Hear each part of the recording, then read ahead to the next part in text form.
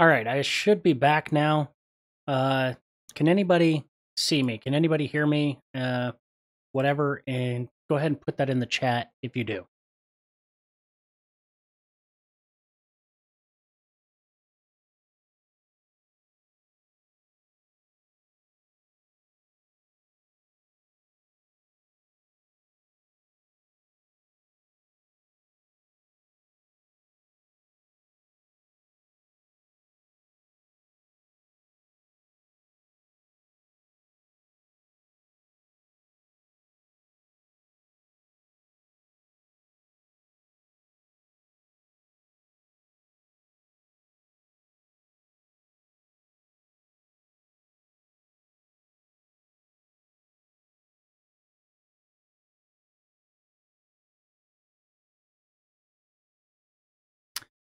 How's it going, Lulu? All right. Can you see me? Is everything working fine?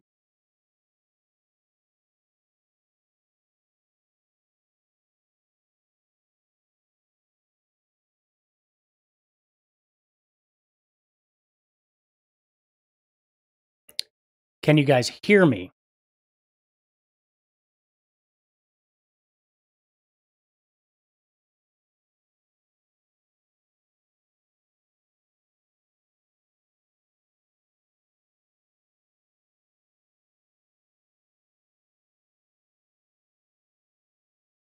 Hi, Angel. Can you hear me, Angel? I, I don't want to start talking and then find out you guys can't hear me at all.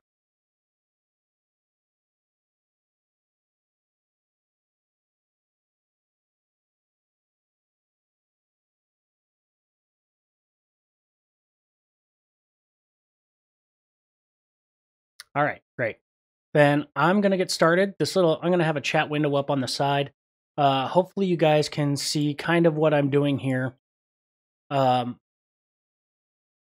real quick, I'm going to, uh, we're just going to do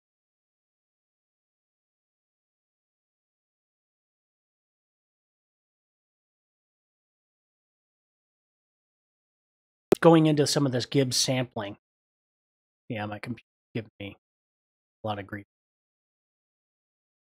If I crash, I'm going to try to come back on as soon as possible. Okay. Yeah. Yeah, this should be recorded for uh, up to 14 days.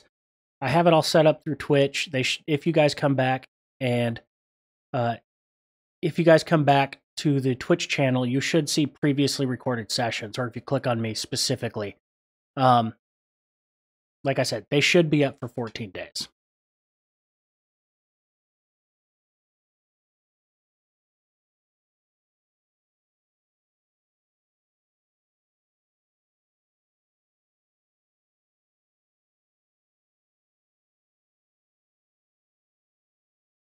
Okay, so uh, in the future, uh, I should be able to fix some of the bitrate issues that are going on that is causing uh, some of these uh, buffering issues that you guys are experiencing because I'm pushing it such a higher level than a lot of internet can handle, at least on my end as far as Wi Fi is concerned. Uh, but if you can hear me loud and clear, I'm just going to go straight into the uh, portion where I'm going to start talking about some of these Gibbs sampling issues uh, unless you guys have any specific questions. If you do, please let me know. I'll keep an eye on chat and uh, pause in and among there and figure out what's going on. But if not, I'm going to move into office hours. So the first thing we want to do when we're in office hours is we want to uh, ensure that we have our environment set up. So if you already see it, I already have my Conda ENV uh, activated to our B529, and that's fine. Uh, and then I already started Jupyter Lab. So I'm going to bring us over to Jupyter Lab. And here is just the workspace. I just opened up a blank uh, IPython notebook. And I'm going to turn this into uh, Office hours. Uh, what should I call it? Is it the first? Yeah, one, two, one, nine, whatever. I'm gonna put all this stuff on a GitHub repo, and uh, and I'll put out an announcement for you guys, uh, for the class of where I put this repo for us. So if you guys are interested, or if you guys want to share some of the stuff we've worked through, then we'll put it in. Uh, you'll be able to get it there. So uh, just for the sake of thoroughness, to Okay, so when we're looking at the problem at hand as far as the the Gibbs sampling is concerned, uh, we have to again always ask ourselves, what do we have and what do we need? Uh, I always ask this to myself whenever I'm doing things, so I'm gonna just kind of go through one at a time. So let's start with uh, let's get our imports in so we don't have to worry about this. And a lot of this is stuff we're going to be copying and pasting from the original notebook that Alan had set up. But I'm just going to, for the sake of thoroughness, type it in here. So he has import sys so that we can add this uh, this path to our uh, our path temporarily add. And that's a fun thing to know about when it comes to Python is when you use this uh, sys.path.insert or sys.path.append, it just does a temporary temporary insertion into your path, and this just allows us to figure out where um, where Python's going to look for the stuff that we're trying to import. Now, uh, Alan really relies on using NumPy, and NumPy is great, but there's actually a lower level that we can go as far as uh, you implementing a lot of the randomness that we're trying to instill in our Gibbs sampling. And the first place we should go to whenever we're doing any random is the random uh, package. So just import random. And then we want to bring in our uh, the other packages we're going to be needing. So import uh, numpy as np, import pandas as d, I'm going to import a couple extra stuff. Import Seek logo as SL. Now, if you guys didn't have, or if you guys had the issue before with seqlogo having some issues, um, I pushed a recent update today. So if you do a conda install C bioconda, and this is just saying install from the bioconda channel, uh, seqlogo equals 5.29.1 web logo and uh, Ghost. This should overcome a lot of issues that many of you guys were having with seqlogo if you were having. Are you guys still having some buffering issues right now?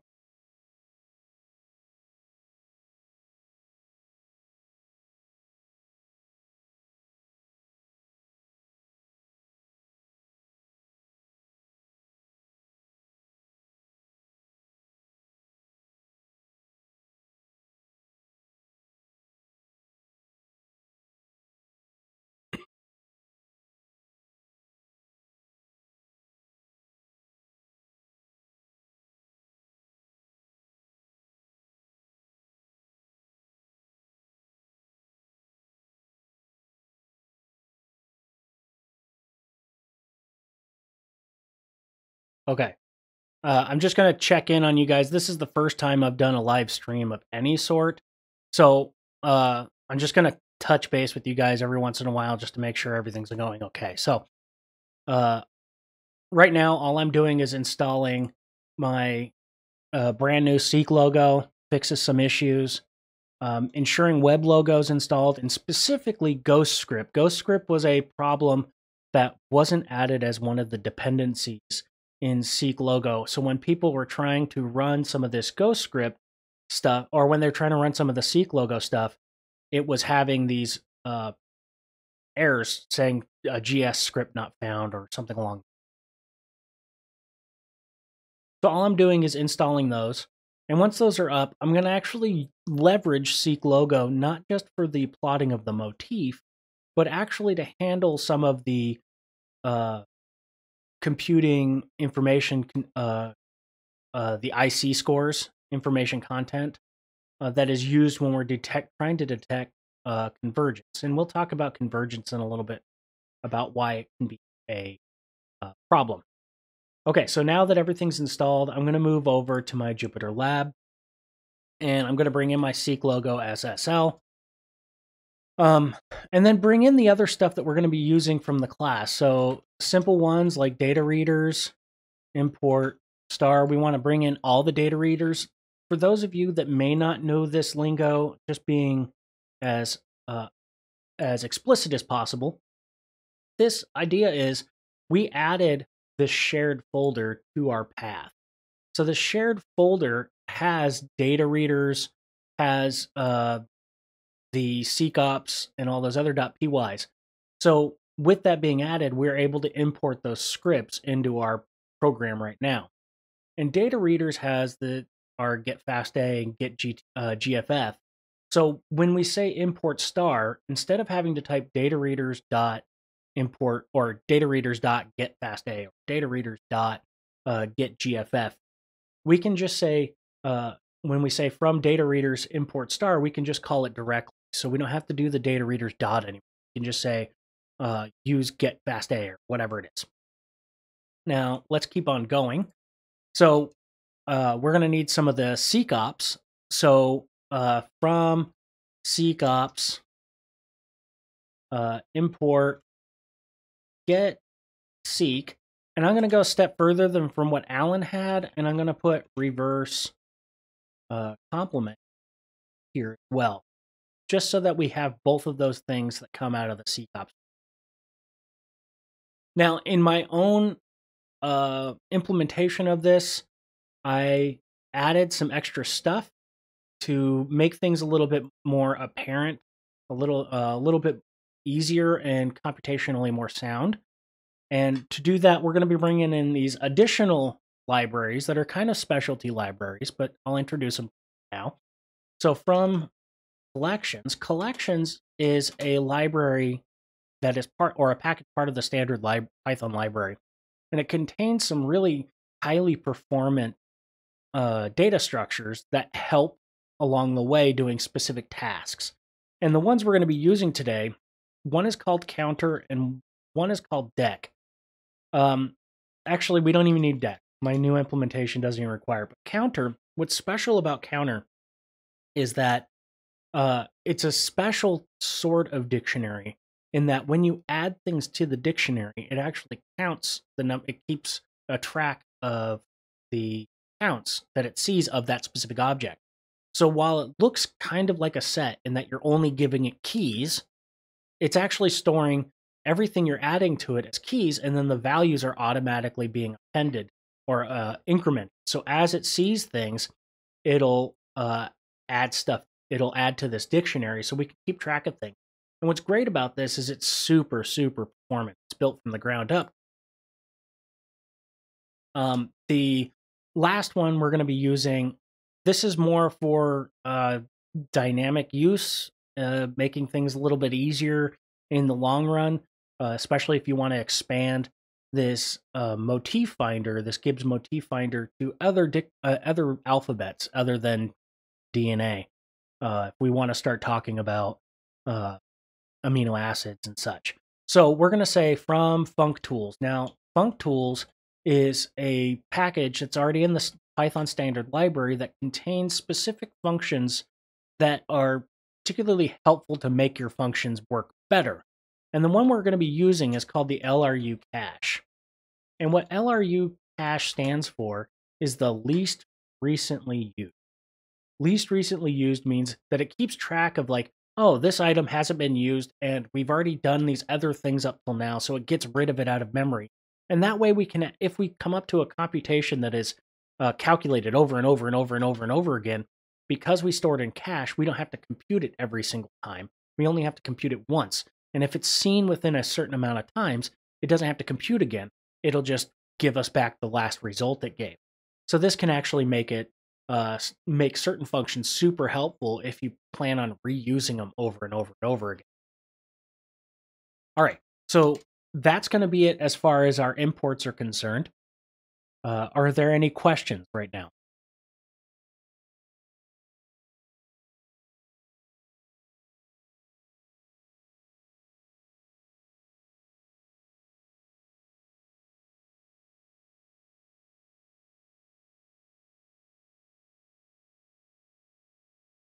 Are you still with us, Angel? Or is it just you, Lulu, and there's somebody else? There's two of you.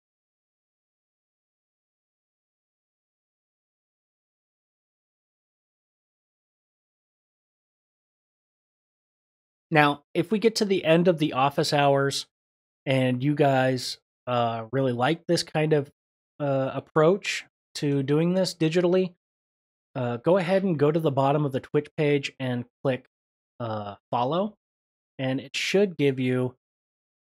Um, sorry, what was the no to? Eh, there's a little bit of delay from when what that just uh whatever. But if you guys like this avenue, or if I can clean up the uh the encoding a little bit better, maybe this will go smoother in the future. You can click follow on Twitch, and that way you might get notifications that uh, an office hours has started up, whatever.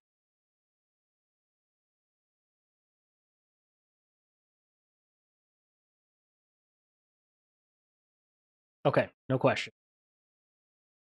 So, uh, the very first thing we're going to do is because we're dealing with a lot of this, uh, the idea of PFMs versus uh, PWMs and trying to keep track of rows and columns. The original way that seqlogo does handles this is that each column, each column, if we look at this, each column of a data frame is some letter, some base, and this can be A, C, G, T, and then down here is the position. So zero, one, two, three, four, so on, blah blah blah. Okay, so this is this is great in that uh, at the end user level of things, it actually is super helpful in trying to uh, understand the data that you're dealing with at that time. It's like a data exploration makes it digestible to the end user. The issue, however, is that uh, it doesn't make it very performant when we trying when we start when we start trying to uh, deal with uh, pandas and indexing. Indexing in pandas is actually, while it's helpful, and uh, unless you're dealing with a particularly big uh, or sufficiently large data frame that is going to be a, essentially static for a long period of time, there's a significant overhead a significant memory overhead creating that data frame over and over and over and over and over and over again. And uh, Pandas wasn't built for, like, it can do specific indexing, but it's not built for programmatic indexing access. So things like NumPy, which is a lower level uh, to Pandas, is super helpful in this. This is what they're built for, was that kind of thing. Now, one of the problems that we deal with this is that uh, the alphabets that we deal with when it comes to DNA and these motifs that we're dealing with in class are those columns can be considered of A, C, G, T, but we can't reference them as A, C, G, and T because of the slow lookup times in Jupyter or in uh, Pandas. So we're going to create a quick little function that's just used. We're, we're just going to say it's used for converting uh, bases to index positions or specific or we'll say columns. Now the idea of this is whenever we see a specific base like an A or a T or whatever, we want to convert that or translate that into uh into a number. So if it's A, we want it to be 0 because it's column 0. C, it's going to be 1 because it's column 1. So this is the only place that we're going to be doing this LRU cache. And the helpful thing about this LRU cache is I'm setting it to 20. The, the helpful thing here is that LRU cache, remember what I said, is every time that it sees this same uh, function, the same signature, the same call or invocation, it just spits out what it's already calculated before if there if it's within the last 20 or so calls. So uh, the reason I set it to 20 because if you think about it, we think about just with regard to our class, the only alphabet we really have to deal with are A, C, G, and T. So there's only four that we actually really have to worry about. But here I want to have you open your mind and think if we expand this a little further to the protein world and we start dealing with amino acid, if we set this to 20 right now, it'll be happy to handle all of those amino acids. So I'm going to write some uh, Seq logo backend gobbledygook. Uh, the idea behind this is we're leveraging some of the code that's already been written into seqlogo to uh, help handle these base conversions. Now, after I write this function, I'm actually going to write a simpler way of doing this just with respect to DNA. Um, but if you follow along this way, this is just as performant, if not better. So uh, the idea, well, I'm going to call this uh, base to index. And all it's going to need is this letter. What base are we looking at? But I'm going to add some additional arguments here, and I'm going to set default arguments to them so that uh, if we call it with any other alphabet type, uh, like amino acid or uh, ambiguous DNA or whatever, uh, it'll be able to handle that. So uh, these are just, again, these are just some uh, backend API things that uh, Seq logo does generally by itself.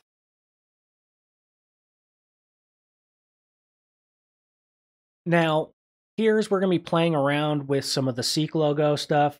I'm going to say if alphabet is not is none if alpha if alphabet type in seqlogo.utils. Now these are special utilities that I wrote into seqlogo IDX letters. Now all this is is a dictionary of all the different index or all the different alphabets that uh, seqlogo supports. These are like uh, actually these are like DNA, reduced DNA, ambiguous RNA, reduced RNA, ambiguous RNA. These are things like gaps and uh, nucleotides can, that can be either cytosine or or uh, thymine. So this is just a dictionary that contains all those.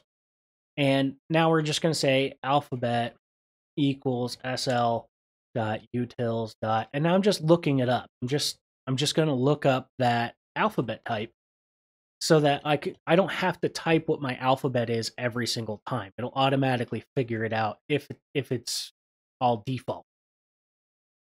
Otherwise, now this is the case in which somebody gives a, a custom alphabet.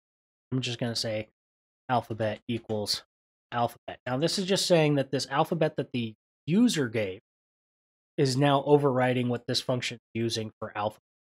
And this allows people to use their own custom alphabets should they choose.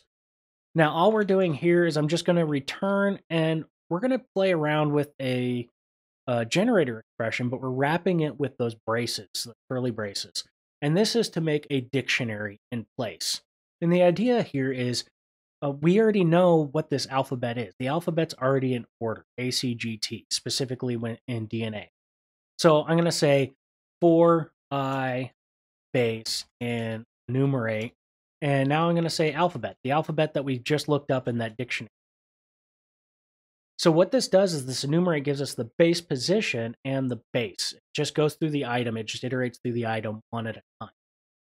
So now to create our dictionary, all I'm going to say is base is the key and the uh, value is i.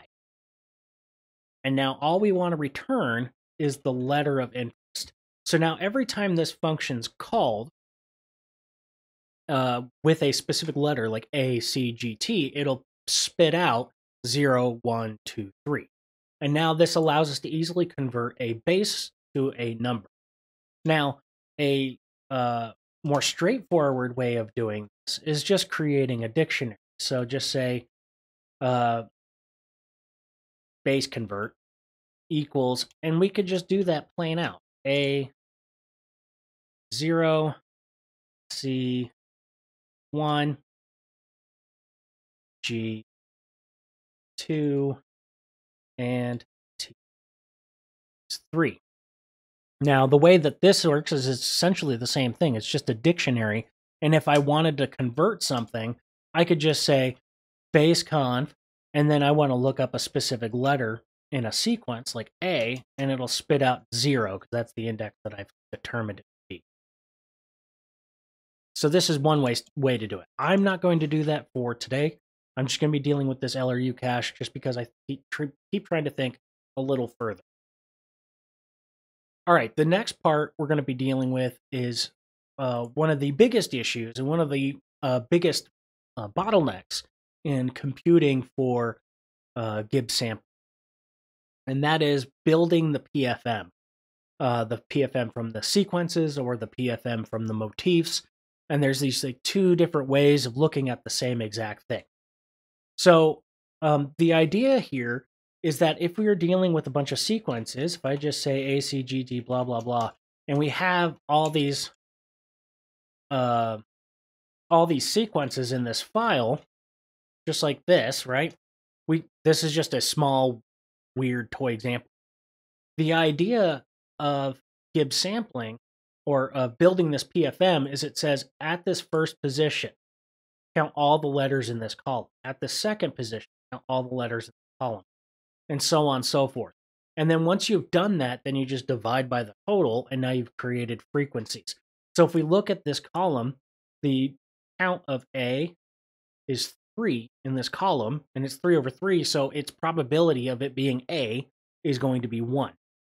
And if we look at more uh, less conserved areas, uh, like this one, there'd be 1 over 3 for C, 1 over 3 for A, and 1 over 3 for G. So that's the idea of building up uh, this PFM from a sequence. So in looking at this, we want to, I'm just going to be re, we already have this under the SeqOps um, module that's already been given to you, but I'm cleaning mine up just a little bit more, uh, just to make it a little bit more performant and a little bit more direct. And now all build PFM is going to need is the sequences, and then I'm going to again use some stuff that I've just some of the SeqOps or the seqlogo backend stuff. And you're going to see this over and over again.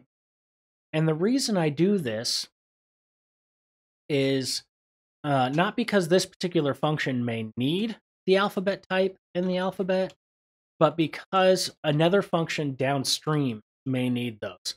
So that I'm allowing my function to be able to cha- be changed at any point of the workflow. Uh, so, nonetheless. Okay, so first we're going to figure out is what's the alphabet the person's going to be using, and we're going to see the same stuff that we already saw up here. Uh, so I'm just going to copy this. It's fine. Now I'm just going to change a couple of things here.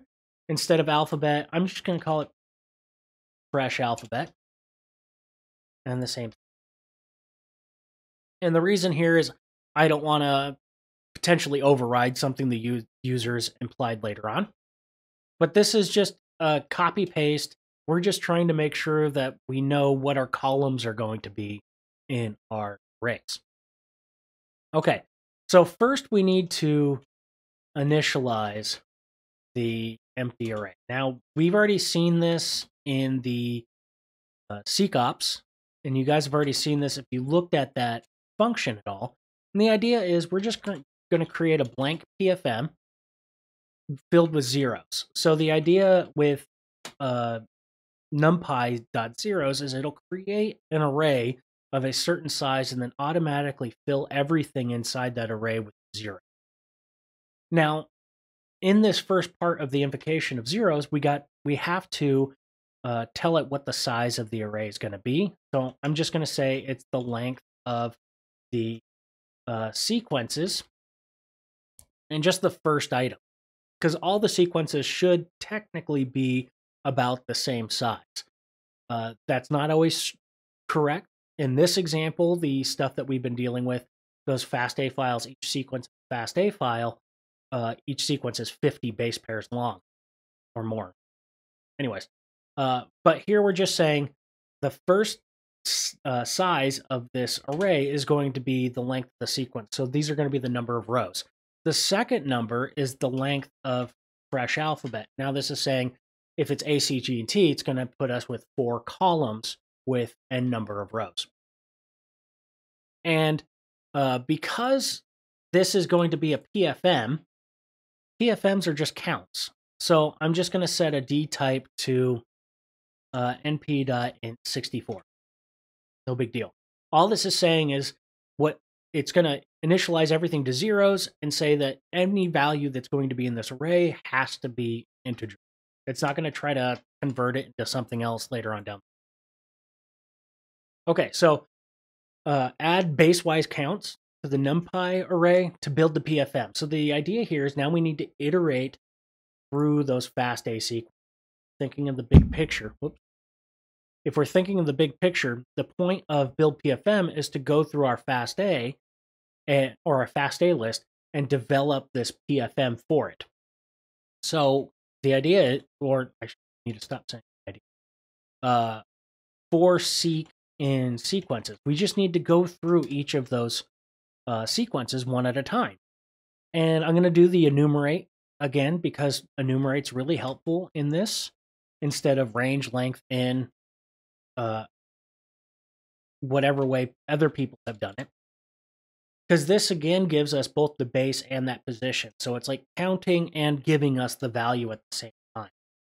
And the reason we need this uh, base and position is because that's how we're going to we're going to address the array. Because remember, the position is the row and the base is the column.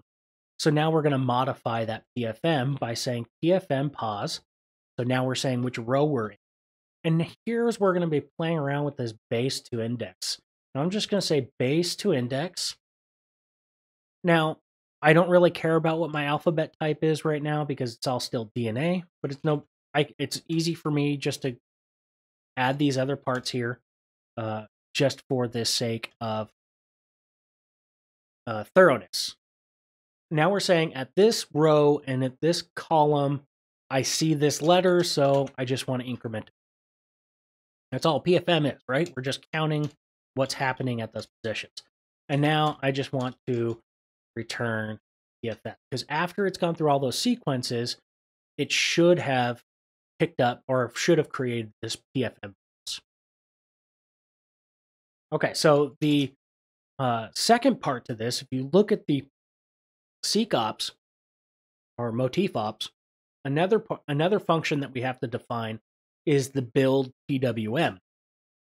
Now, if you this is one of the parts where if you were to go through seqlogo and have seqlogo compute the PWM for you every time, it is actually significantly slower uh, than just doing it uh, natively through NumPy. So you can go that route, and it does work. And I have many implementations that do it. But we're going to do it a little bit uh, more lower level so that we can, if we're dealing with 10,000 so on epochs or iterations, we want this to go as quickly as possible. So let's look at building this PFM. Now, or not PWM. Now, this is significantly different than the one you may have seen uh, in the Motif Ops script and that's because there's a lot of uh, code that I don't particularly agree with. Not that it's bad, I just uh, feels a little unreadable in places or counterintuitive. So I did this to, uh, I wrote it this way to allow for a certain degree of readability and interpretability. Now, these two keyword arguments that I've created, pseudo count and background, up till now, it's always been assumed that these are just going to be 0.25. If you look at the motif ops, exactly what it says 0.25, 0.25. And that's because we're only dealing with four bases. Now, pseudo count, the idea of pseudo count is we have to offset when we take a PFM, convert it to a, a PPM, we and then we take a PPM and turn it into a PWM. We have to convert that uh, that ppm to a pwm, we, we convert it using a, a log2 transform. Now, if there's a base, like if we look in, if there's a base at that specific position that has a zero probability, the NP log 2 of that is negative infinity. So pseudo counts, the only purpose of pseudo count is just offsetting that just by a little bit so that it doesn't become a negative infinity because negative infinities can be kind of hairy to deal with. Um, now, background. Background is just saying what's the background frequency of the of the specific base. So here we're saying all the bases have a 0.5 uh, possi- uh, background possibility of occurring. Now, that's not particularly biologically true, and there are ways to compute it. And if you look at the PowerPoint presentation that Ryan did, he actually talks about if you do this Gibbs sampling, you compute the background as you see fit, uh, based off of using the unused uh, bases. Uh, or if you're dealing with a an organism that an organism or a specific spot in uh, an organism's genome that is specifically uh, GC rich or so on and so forth, you can actually change these backgrounds. But for the naivete of the class, we're just treating it as everything is equally possible. And that's fine. It's a, it's an okay assumption for teaching purposes. So again, we need to initialize. Are there any questions while I'm typing some of this stuff?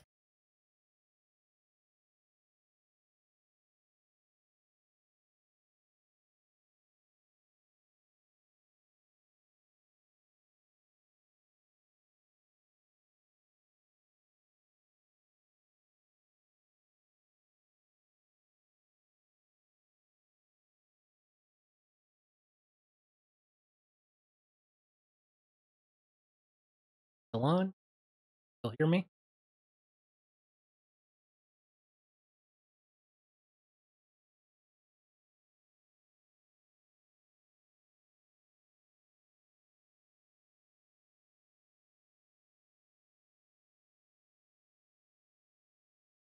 Okay. I'm not seeing anything in chat. Just going to keep going forward. The idea here is that with this PWM, again, we're doing the same kind of thing we did with the PFM. We just have to initialize our PFM. But I'm kind of cheating here because I know what I'm getting to, PF, uh, to create this PWM. I'm getting this position frequency matrix. And that's supposed to be a NumPy array. Well, NumPy array has this dot shape. So to look at this, if we see this in real time, I'm going to say a equals np array, uh, or maybe np dot random dot normal. I don't know.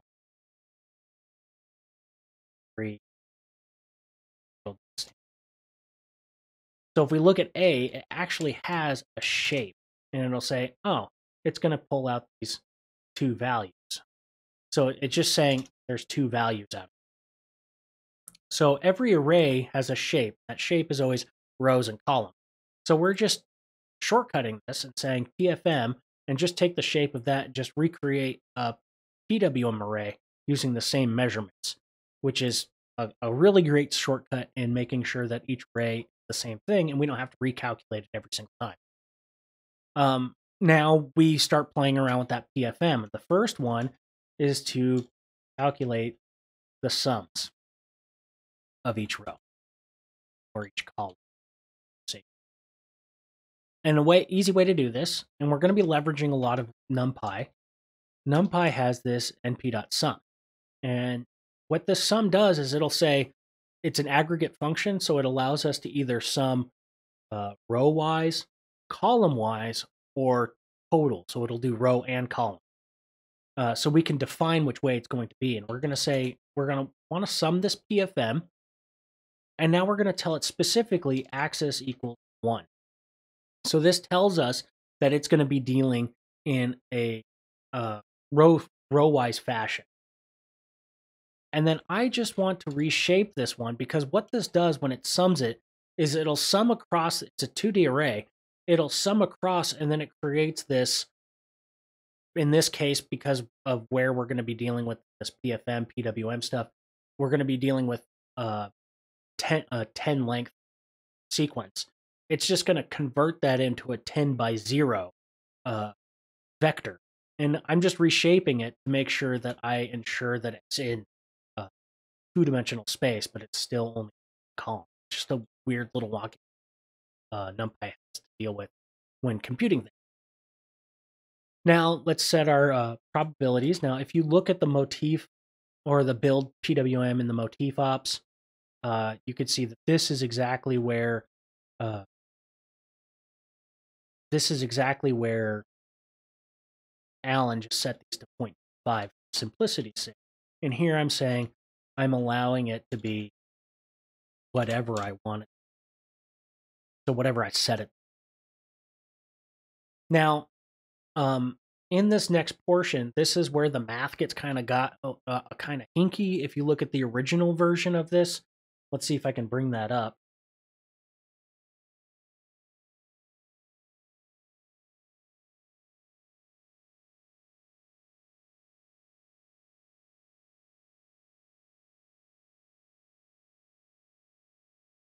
Okay. So if we look at this this one, you can see, yeah, here's where he set that 0.5, perfectly fine for education purpose. But here he goes four range in four or four I in range four. He's saying go through each base, and four I in range length length PWM zero. Uh, so here he's saying what's the length, what what's the sequence of this PWM, and we need to iterate each of those. And then they he goes through and individually uh, looks at those arrays or at those spe- uh, specific cells and calculates this log two and then converts, adds the pseudo count, sums, and then multiplies by four, and then uh, final end takes into account background. This works perfectly fine. This is uh, there's there's no problem with this, and it works. However, it's not the most performant way of tackling the same problem, and we can actually overcome this in allowing us to do what NumPy calls broadcasting or vectorization. So, since we're going to be doing the same thing to each of these positions, uh, we can actually just let uh, we can just let uh, NumPy do it for us. So here I'm just going to say pwm equals np.log2. This looks already. And we want to take that uh, numerator is the PFM plus P. So what this is saying is each item in the PFM, we want to add this 0.5, whatever we had for our pseudo. And it'll do that element wise. Because since P is a, uh, a constant scalar, it'll just scale everything in that array by the same value element wise. And after I have that, I need to divide, and I'm going to take that sums the sums that we did up here. I'm going to take those those sums. I'm going to add that uh, p, the pseudo count to it, times by the pfm dot shape and one. Now my pfm is bases are on the top, uh, positions are on the rows, or bases are on the columns, and positions are on the rows. Uh, so my shape's a little different because it's transposed, but it's the same problem dealing and the same thing, np dot log to background. Okay, so what this does in the end is it essentially fulfills the same exact thing that he was trying to do in the other one, but it does it all in one command instead of having to iterate through it. Because the general rule of thought, rule of thumb when it comes to NumPy is that you never want to, or I should say you never. It's if you are iterating through columns and rows on an array, it's almost always better to just broadcast across the whole array all at once. So that's all I did was I converted that into this. So if you look at this, we've actually just computed this and we didn't identify each column and row independent of each other. We've created this PWM from scratch. That means if we look back in retrospect, we don't even need this line anymore. We don't need to initialize because we create it. And once we're done with this, return that PWM. Now, I promise you that this is a terrifically performant program considering what we're doing in just pure Python. Okay. There are three of you here. Are are you guys okay? Do you have any questions? You want me to move on? You want me to move on? Just say move on in chat.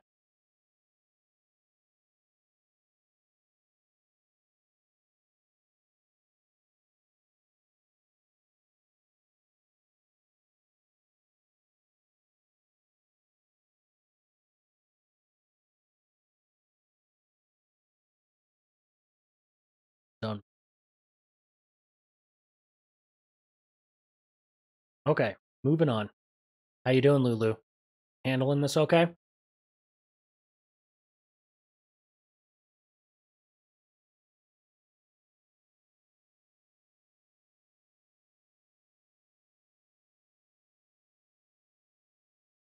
All right, cool. All right, now I'm going to take a step back. These are some big, heavy parts that we've already covered in the other classes, uh, but I just wanted to kind of clean up the code a little bit. Now let's bring it back to the Gibbs sampling that we were dealing. The very first part of Gibbs sampling is we need to get the motifs. We need to get the sequences that we're dealing with.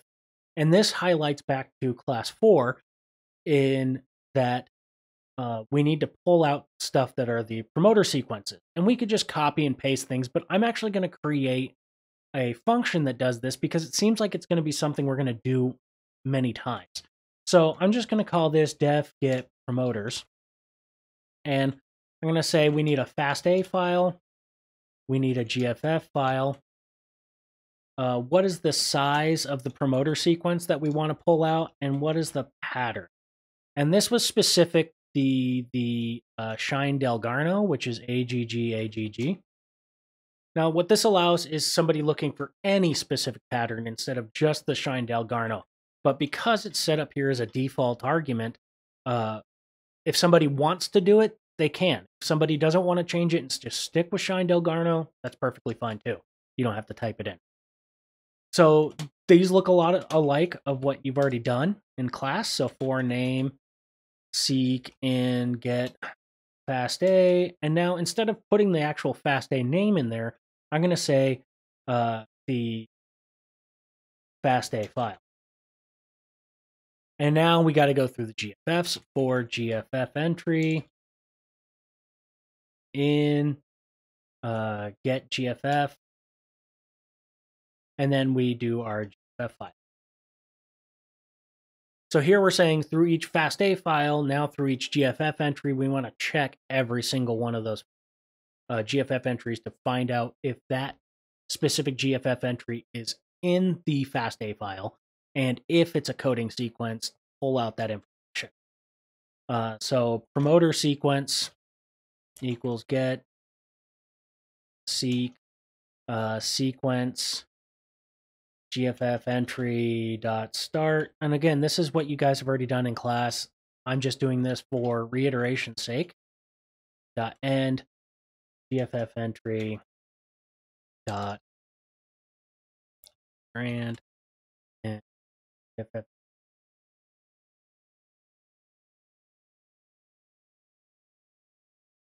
So now that we have that promoter sequence, we need to see if this promoter sequence uh, contains the sequence, uh, the pattern we're interested.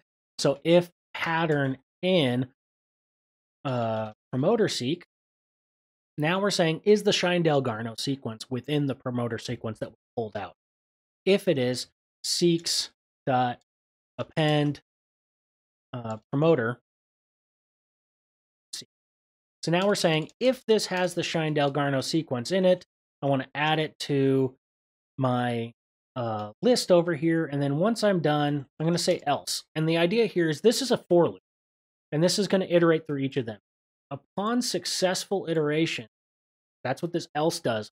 If there's an else at the end of a for loop, means if this for loop has finished without error, do this. And we want to say return seeks. Now, this you can do this this way. That's perfectly fine. But if you want to change it and just do it what you've always done in class and just do this, this is perfectly fine too. I just always like that graceful exit concept, but that's just me. All right, so I'm going to pull open this other one where they already had the sequences, and I just want to take those copy and paste.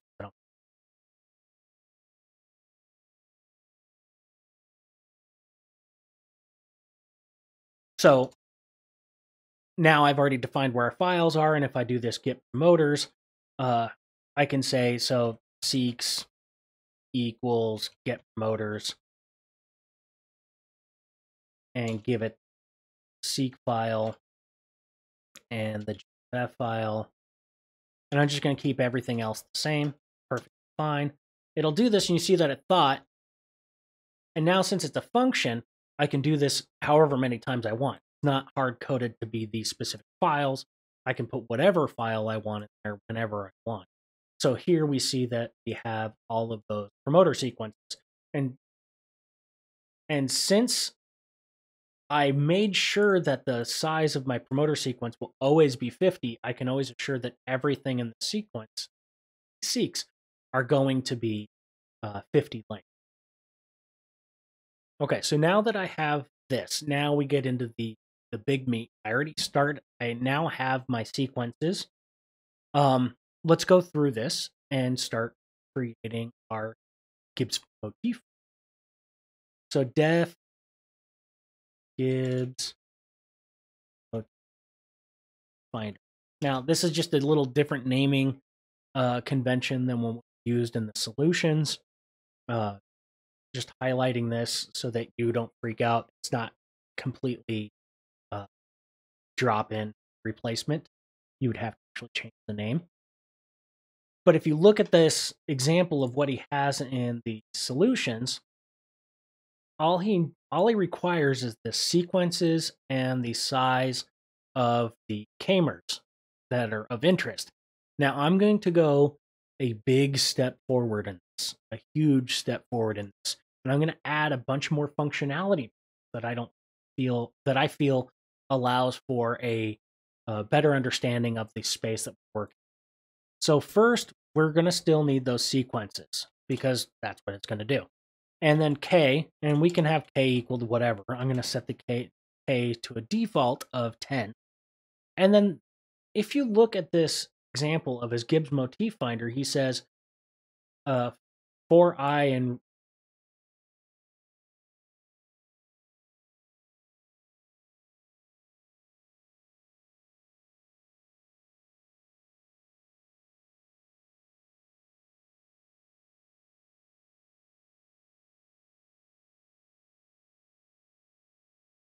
Okay. I think this is the one that I changed. This should have been 10,000. And what he was saying is, is uh, going through this each time uh, for 10,000 times, uh, try to find this convergence. Uh, so, what that's called in computing terms, or specifically in machine learning, which this is kind of an offshoot of that, more dynamic programming, uh, it's called an epoch.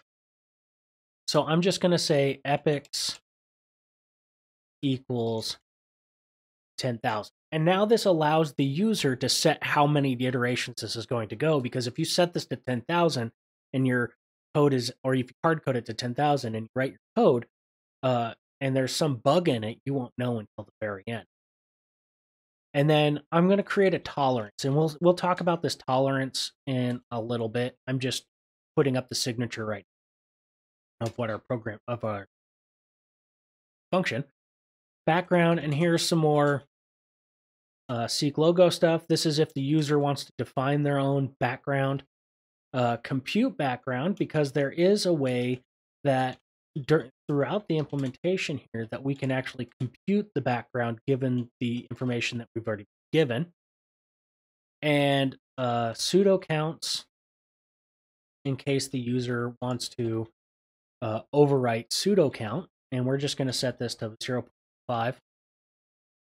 And then the final bit of seqlogo, uh, carry on, and that we're going to create alphabet type A, alphabet equals.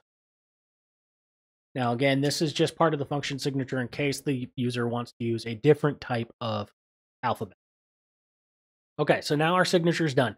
You guys may not understand everything that's right here. I'll I promise you that I'll explain each step along the way. Um, the first part is we need to figure out uh, what the initial uh, Gibbs setup is. Because if we look back at the solutions, he does this first part where he says for i in range in range n, and then goes through all of the sequences and creates a a random Gibbs uh, or random motif matrix already.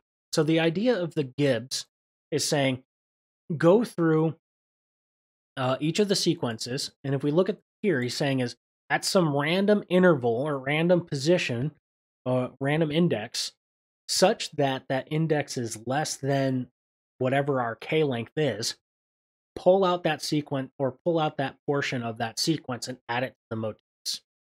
And then randomly select whether or not it's going to be a positive strand or negative strand, and then compute it as such. And the idea of this randomness is that we should find, we should get to a probabilistically most likely uh, motif uh, that contains this uh, pattern. Should be able to identify instead of just finding the best. We probabilistically remove some bias bubble stats. Um, so there's this initial creating the Gibbs. So uh, in my implementation, I'm going to just off creation, the initial initialization, that sounds like a function. It's just something that I want to off, I want to hand off to something else because I don't want too many for loops all inside the same function. So here I'm just going to say motifs and uh, init background. And we'll talk about this init second. Init Gibbs sequences. Okay, so here we're going to take a quick second and I'm going to create another function up here called init Gibbs. Now, init Gibbs is actually a super simple function. It essentially does the same thing that his does. Uh, we're just doing it in a little classier way. So, and this is actually really fun Python stuff. You get into doing randomness. Uh, so pay attention if you're interested in this stuff. So we're going to init this Gibbs and take sequences and k equal 10 setting. Um, so the first part is just what he did. Motifs equals an empty list. N equals counts equals none. Just uh, initializing some values for seek and sequence. So now this is the first time we're actually going to be touching this fasta sequence. Um, now we take the first sequence, and I'm always wanting to control for those soft masking that may be in fasta file. So C equals C upper. You guys saw this from 575 a lot. Uh, you didn't so, so much see it in this class. We just happen to be dealing with files that don't have these. But again, I'm always thinking about what's the next step. Try to use this in a way. This is what I do. Um, so now we're gonna start playing around with the randomness. Let's start our random.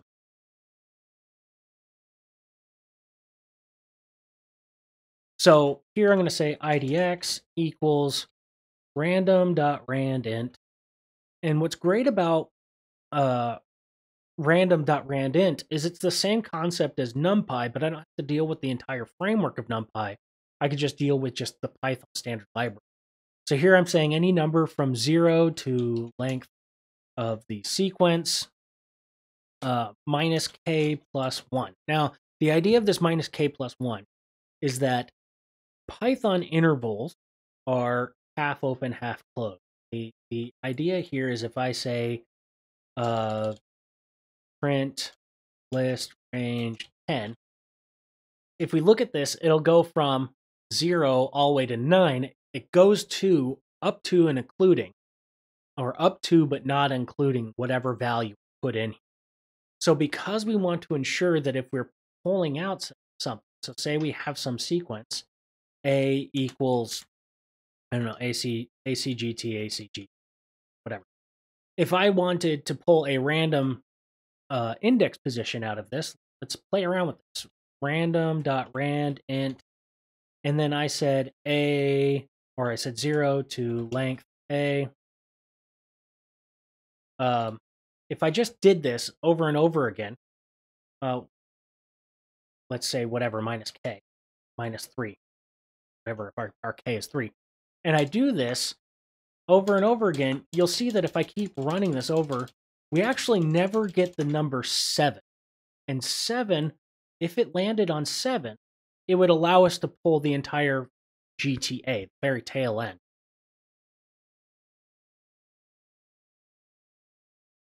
It would allow us to pull the uh, entire portion. But if you leave off the, if you don't add this plus one to it, uh, when we do this plus one, sooner or later it'll allow us to get that seven. So it'll it pushes our interval just to the to the right so that it is uh, inclusive, completely inclusive.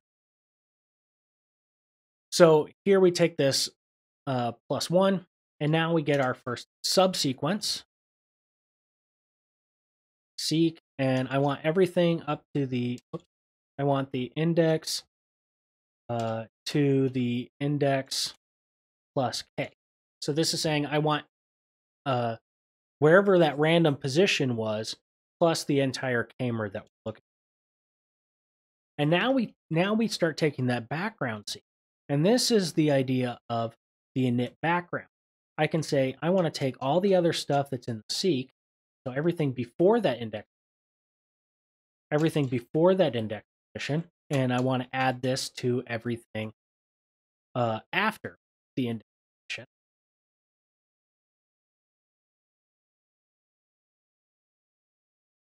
So here we'll take everything that isn't in that k-mer, put them together, and now this allows us to count background frequencies from the given motifs that we're looking at.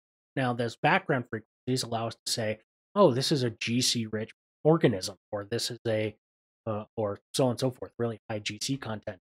Um, this allows us to compute it dynamically on the fly.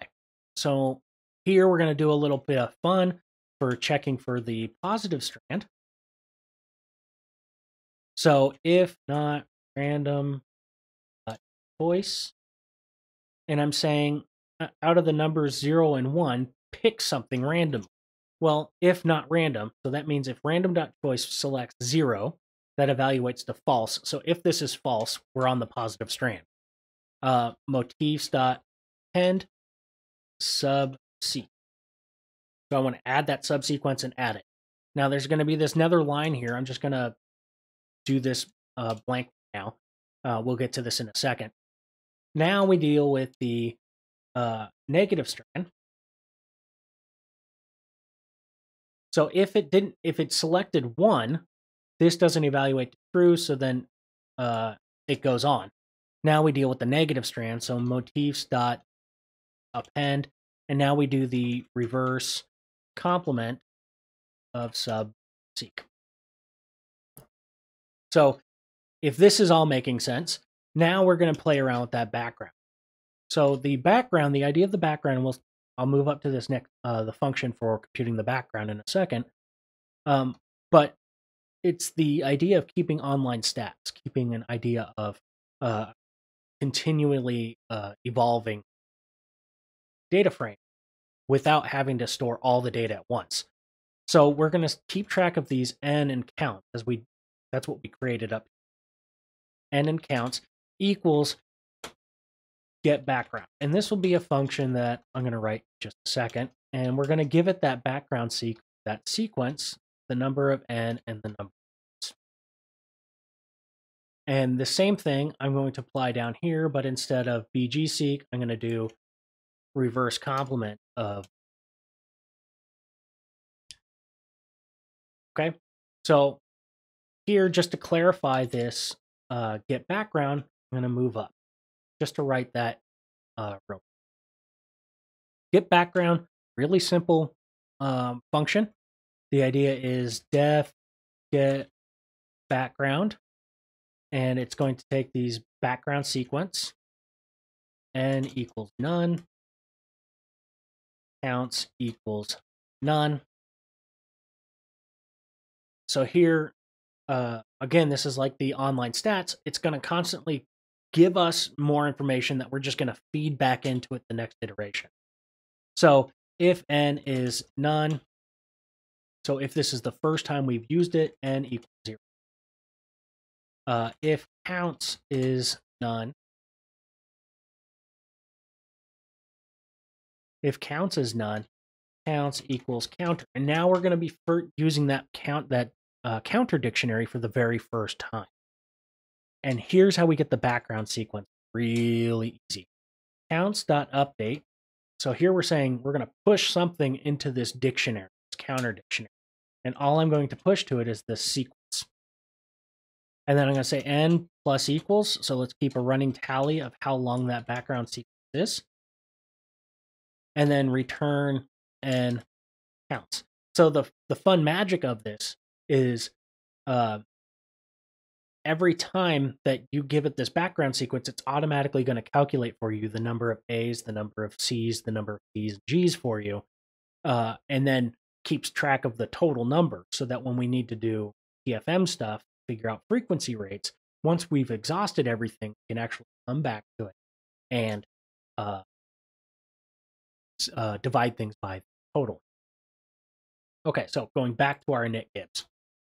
So now here we're saying is after we've gone through all the sequences and we've randomly selected some random subsequence, now we can start playing around with the background stuff. Again, you don't need to deal with this background if you don't if you don't want to. It's just a fun problem to deal with or to work with. Uh, I'm going to create a pandas series with all the default values to zero. This is akin to making a numpy.zeros. And I'm going to say index equals count.keys. So if you remember, um,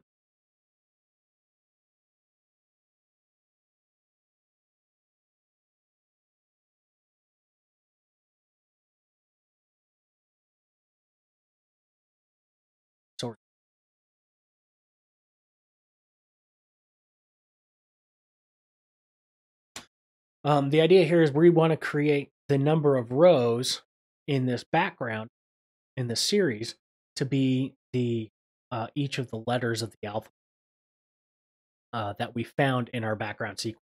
The number of A's, the number of C's. Um, and then the D type equals NP dot float. Just because since this is going to be a background frequency rate, we want we know that's going to be floating number. Excuse me, it's going to be floating point. So for base and base count in enumerate sorted counts dot items. The idea here is counts. Remember, counts is a dictionary where each key is the base and the value is the number of times that base was seen. Uh, we're iterating through this, and I sorted it so that it comes out in alphabetical order. Order uh, for later on. And we just say background uh, for that specific base. So we're looking at like the, the A column or whatever, A row is equal to the base count, what however many times we saw that base count divided by the total number of bases we saw. And, and this is why we kept tally. Okay, now we've all done with the background stuff. Return motifs and back so that's the init gibbs. And the init gibbs is, again, we're just initializing that first random matrix at the very beginning.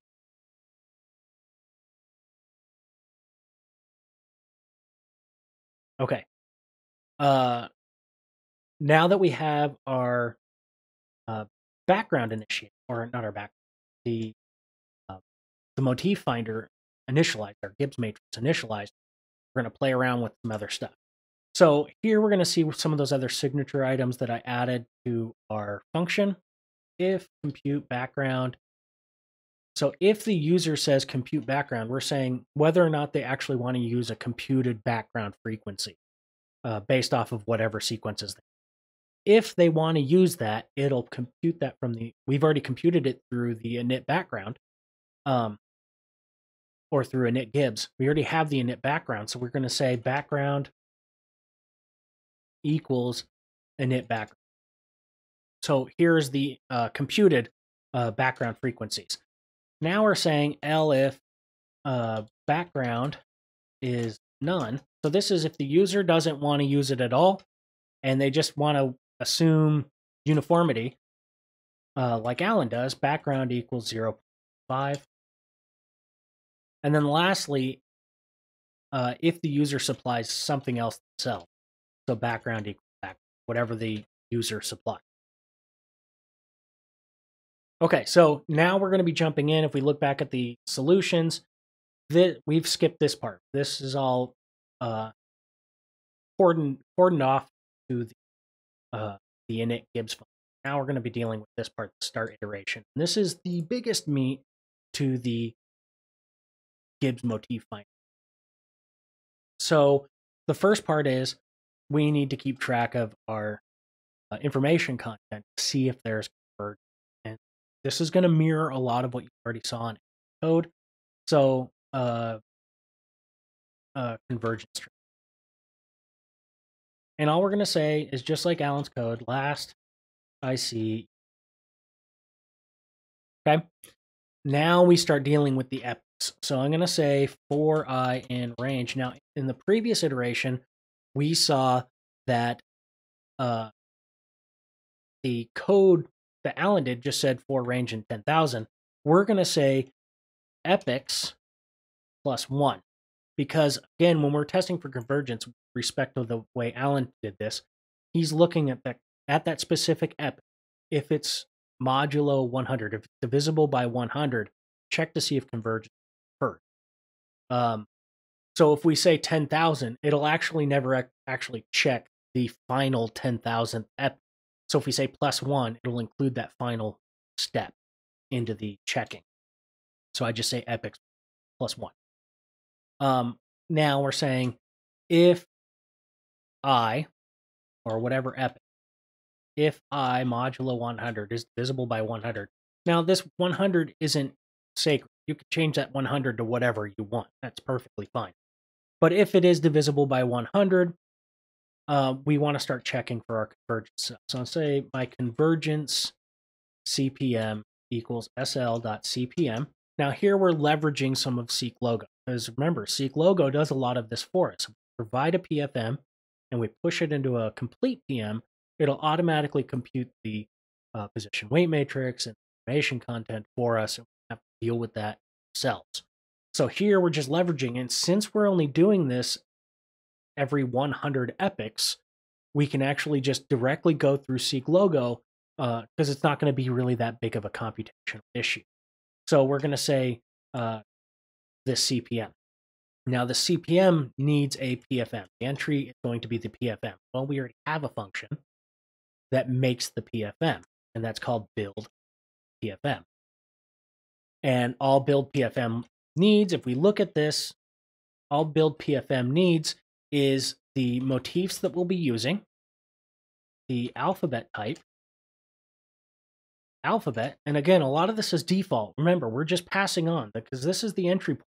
If the user doesn't define this, it doesn't matter uh, it'll just use these basic values and just keep passing them on. So this is like a type one time, but help you down the road kind of.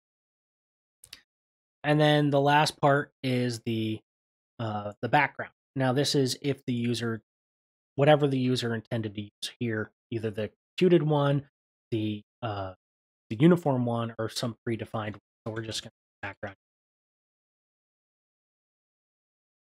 So now that once that's done, it should have created a, a CPM for us. So we need to check what our current uh, information content is. And we just do that by summing up everything inside the conversion, uh, the convergent CPM.ic. Because remember, Seq logo has the attribute of information content. And now we're just summing up all of those positions along the to create a cumulative uh, information content for those specific key sequences. So, uh, just to give some feedback in here, I'm going to say print and an F string, a format string, current IC score at whatever epoch we're on. Epochs. And then I'm going to say, er, or so now every time we reach a new epoch and it computes this, it's going to pop this out. And this is not so much to help the computation, it's actually just to give the user some feedback. It's a UI design so that they know something's actually happening. Um, nothing special. Now we're going to say if i equals equals zero. And this is only because if we try to compare a NumPy array to none, we're going to get like a comparison issue. So we're just going to say last IC equals IC. Because again, it has nothing to compare against, so it's just going to deal with it the very first time. In all other cases, though, we're going to mess around with some stuff. So uh, Allen's convergence is dependent on if the epoch that it saw 100 items ago, or the 100 100 epoch ago, matches the exactly the same epoch dealing with now, uh, that determines that convergence is happening. Uh, because of the randomness of this, that is very unlikely to happen. Very unlikely. Uh, I'm not saying it can't. I'm just saying it's very unlikely and maybe not helpful to the user, at least at an educational standpoint. So we're going to use something in NumPy called np.close or np.isClose. And what this allows us to do is compare one thing against another. And if they're close within a specific tolerance, it'll say this is true. And if it's true, it'll say convergence has occurred. So we're going to say if cur IC uh, versus last IC. And now we're going to say this R tolerance, this is the relative tolerance equal to this. And this is that tolerance that we set up here in our function signature. How close can these two numbers be for it to determine whether or not they're close enough for the user? So here I'm saying i negative 5. Uh, you could set it to whatever you want it. Set it to 1 and it's fine. Uh, whatever the tolerance. Now we're saying if this uh, convergent, if conver- convergence has occurred, if these two numbers are close to each other, now we're going to say print just to give some feedback to the user. Convergence, convergence detected, and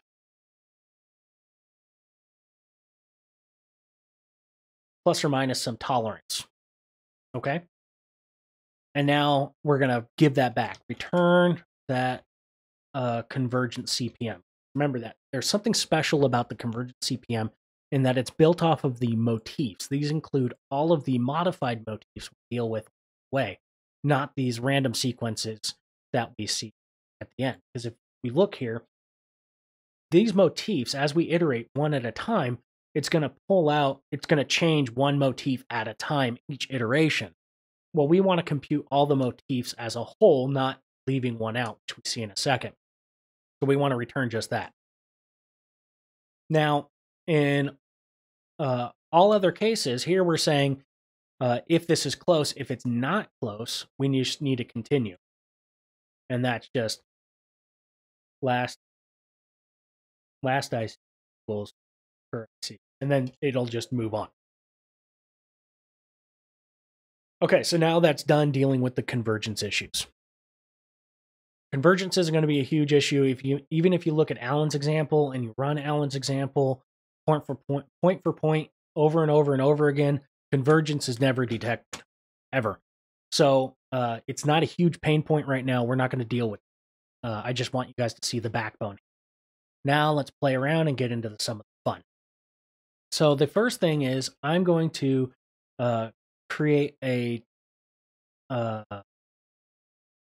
a, temporary um, a temporary copy of what we've been dealing, uh, specifically the sequences, uh, so that I don't accidentally overwrite the ground truth. The, the the sequences haven't changed, the motifs haven't changed. I don't want to modify those.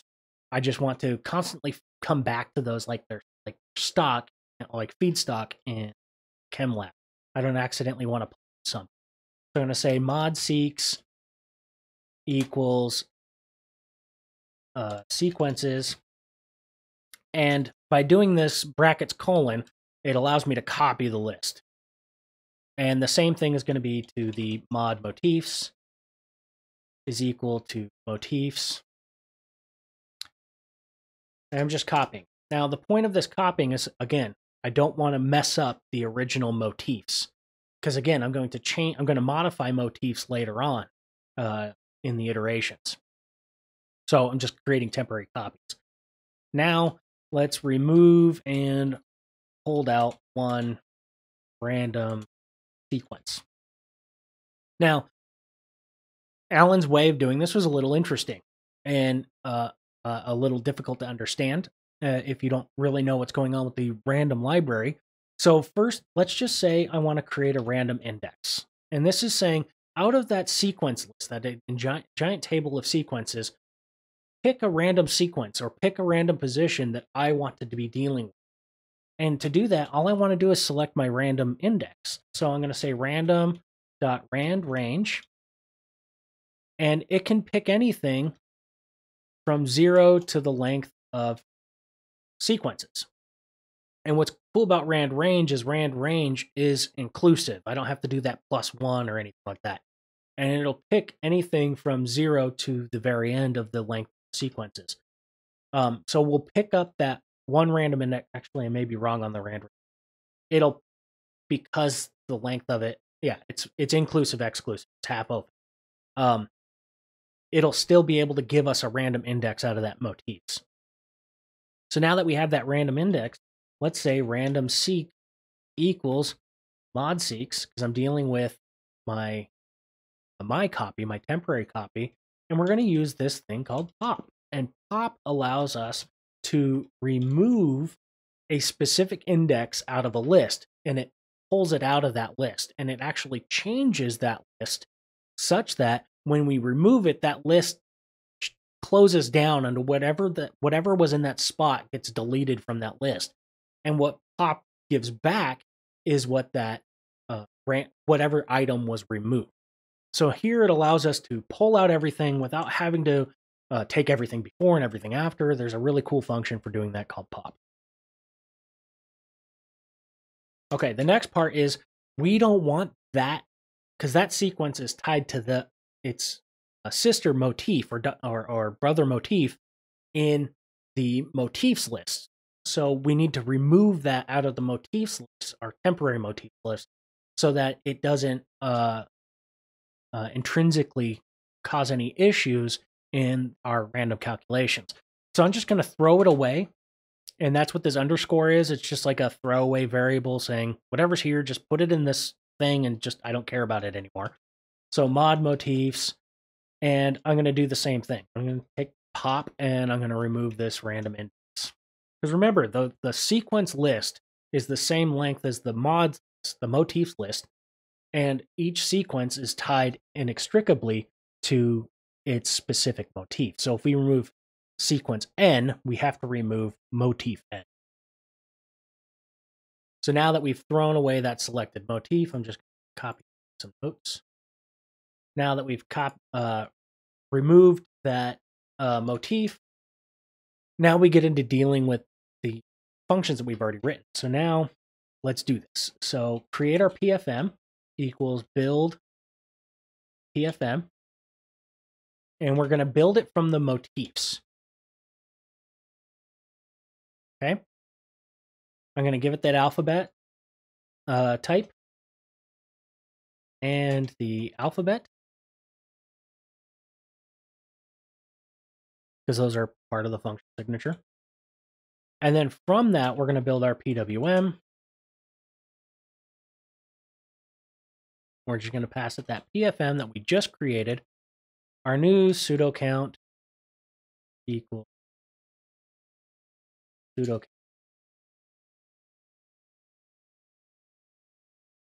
pseudo count equals pseudo count and background back okay so now we've used those functions we've already written. I'm going to take a quick second. Do you guys have any questions up till now? I've been kind of talking full on.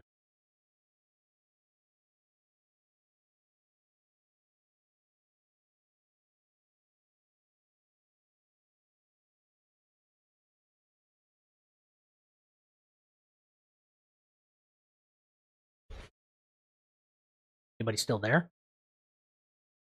Oh, four.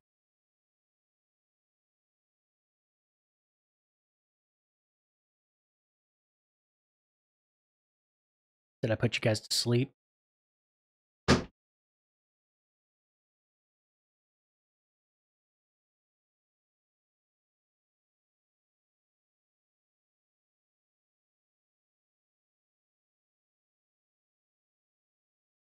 Okay. I'm not seeing anything in chat, so guess I'll just keep powering through.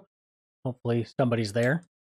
It's okay if you guys give me a little bit of encouragement from time to time. I don't. Okay. Thank you, Angel. Okay, so the first part of the Gibbs is saying pick a random sequence, pull that sequence out, remove that from the motifs, and now we want to calculate from the that new modified motif what is the PWM? What is the likelihood given the sequences that we're dealing with right now? Now we have to do uh, the stuff that actually deals with the sequence that we pulled out. Uh, so that sequence that we pulled out, remember that sequence is called rand C, right? We already pulled that out. We haven't done anything with it, but now we are. So um, I'm going to write these down and it's just going to be a function signature. And then we're going to move up to a function signature uh, or defining a new function. Uh, and I'll explain things in a second, but just let me do the typing real quick. Strand new equal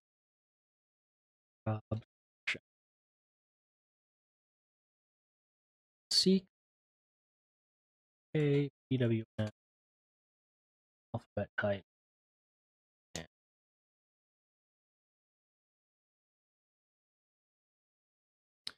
Okay, so this prob selection is the uh, probabilistic selection of up using the updated motif index. Fancy way of saying we're just going to look and based off of what we've seen, we're going to select new things. So I'm going to move up here and I'm going to add another cell. And we're actually going to be doing this uh, prob selection function. Now, this prob selection function is actually two different functions nested uh, because I like making it complicated. So uh, def prob selection and sequence k pwm alphabet type. And again, this is just to pass things on later on for seq logo. Not terribly important. So uh, the very first part of this is we have to figure out scores. And uh, Alan does, if you look in this version, what Alan does here is that he starts the scores and then he starts the strand. And then he goes through each position along that random sequence. So it says starting at position zero for the length of K, find out what its score Kmer score is, and then move one and then move one. So like a sliding window as it moves across that entire range. Um, and then scores it, and then based off that score, just score and score. Oh, sorry. He has score Nmer here, which does score Kmer. No deal. Um, yeah. Anyways, uh, so he def- goes back to score and handles. I- am going to be doing, but it's essentially the same thing. And then uh, from this score Nmer, score Nmer, it slides through one at a time, and then it goes through uh, the reverse complement as well. So it finds all the scores one way, and then it turns around and goes back the other way and finds all those scores as well uh, that can be very painful in that you're dealing with a list that's twice as long. Uh, and he actually highlights this later on. Uh, when you're dealing with this this list that's twice as long, you have to uh, convert things and all this other stuff. I don't I don't want to deal with. It. So I actually do it a little different. So here I need to create the scores. And this is the first little subsection of this. I'm just going to say scores equals gen scores. And all I'm going to give it is the sequence A and W. Now I'm going to put a quick hiatus on that function and create this gen scores. Def scores sequence A. Okay, gen scores pretty much the same thing he has here, but I use a little di- bit different of a uh, a little bit different of a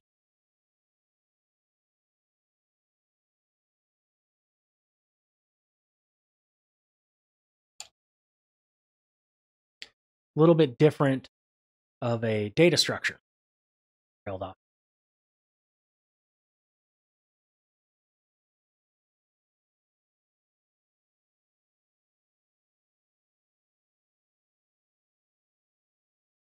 So it, it works the same way. I'm going to say scores equals zero or equals an empty list, but you'll see that I don't actually make a strands list. And that's because I can just utilize the power of tuples to overcome this. So for pause, base and enumerate sequence. So we're going to be doing the same thing he did, but we're going to say rand seeker namer equals sequence from whatever the position is that we're currently looking at to position plus k. Now, a drawback to this is is if we did this just naively, what happens is sooner or later our index will get to the tail end of the sequence and then the k-mer won't be long enough. It'll be like a two-mer, three-mer, something like that.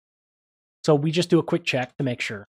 If len rand seek k-mer is not not equal to k break.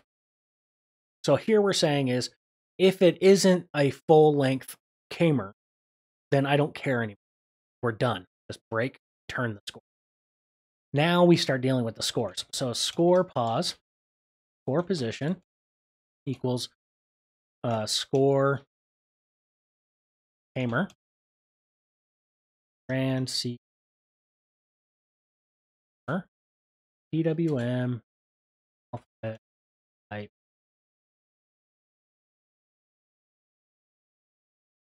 So now we've scored that position for one direction, positive direction, positive string. So scores dot append, and now I'm just going to create a list, and it's just going to say pause zero for positive strand, score pos. So here we're saying at this index, positive strand had this score. Um, now we're going to do score neg and uh, the same thing, except we're just going to do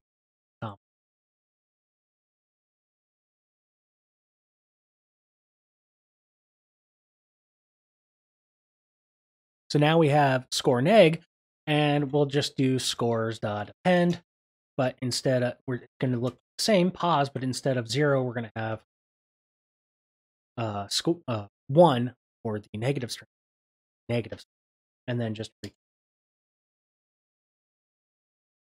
return scores. Okay, so let's jump back into the prob uh, probabilistic selection. Now that we have our scores, now we have to play with. Um,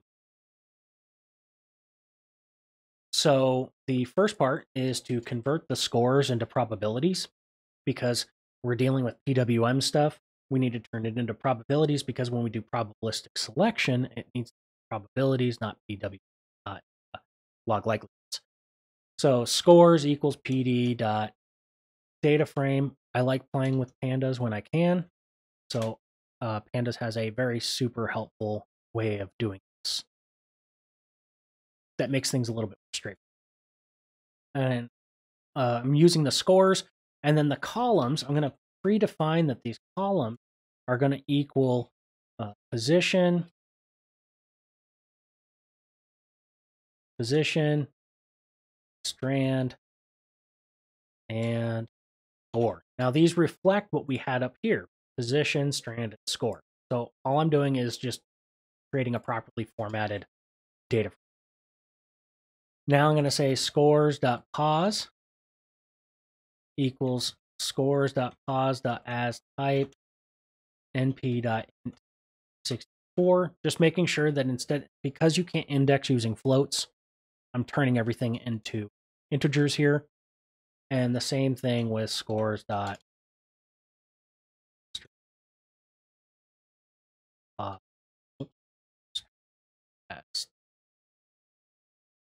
uint64 um, because it's just going to be a 0 or 1 so it doesn't or not 64.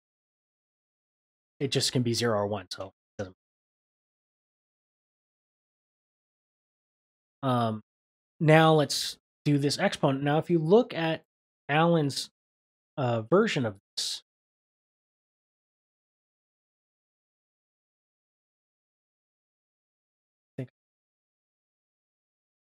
Um, Alan's version of it is he recomputed uh, score over and over again. I, I don't do that here.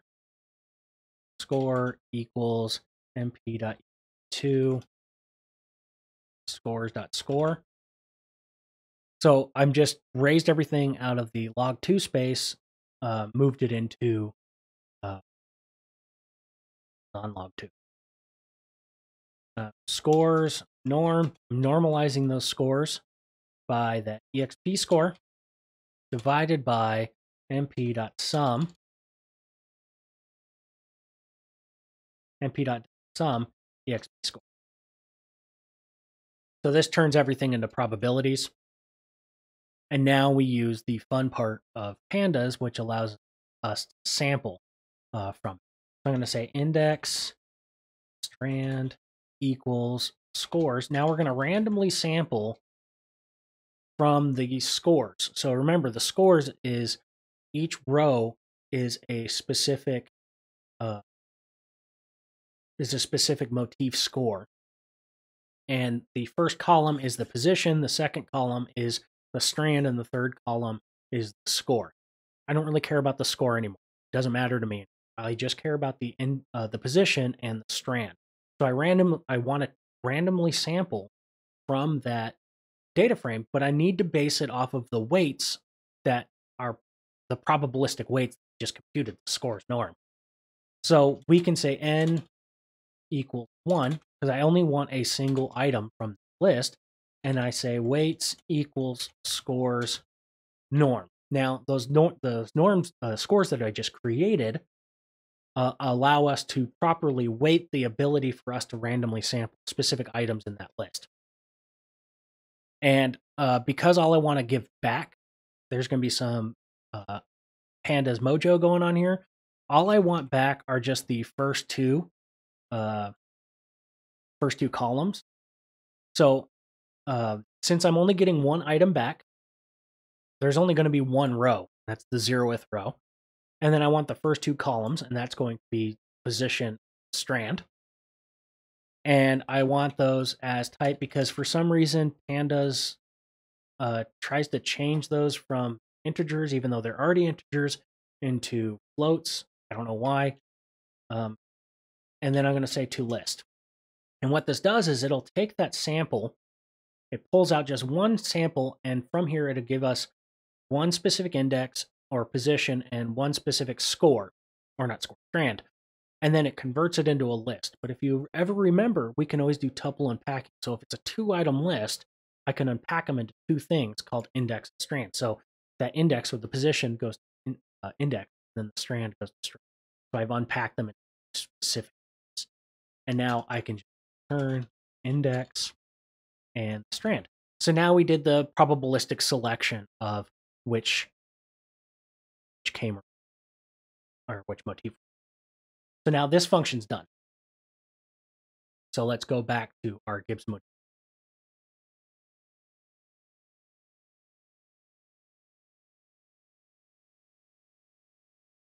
So now that we have a brand new index and a brand new strand that we're going to be pulling from, the, the probabilistically selected strand and index, we need to up so the way to do this is we say new motif equals brand seek. Because remember, we this is the sequence that we've pulled out. We're pulling out a probabilistically selected k-mer from that random sequence, adding it, like overwriting that motif that was already in the previous list. So we're going to say index new to index new plus hey. Now we now because there's two sides to this it's both a uh, we have the random k-mer but we need the whether or not it's going to be a positive or negative strand. Well we already figured that out with the probabilistic selection so i can say if not strand new right? So if it's zero meaning positive strand, motifs, and now I want to overwrite the previous motif that this sequence was associated with with this new motif. So I'm going to say uh, that rand index, because remember, this hasn't changed. This is the same rand index that was up uh, right here. This is the same rand index. That, that That's not changed. So I still have a good uh, identity or a good address or reference to where, where the sequence lives in original.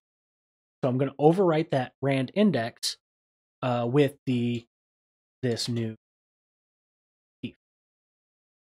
Otherwise, so if it's a negative strand, I'm going to say motifs rand index equals, cast it, reverse complement.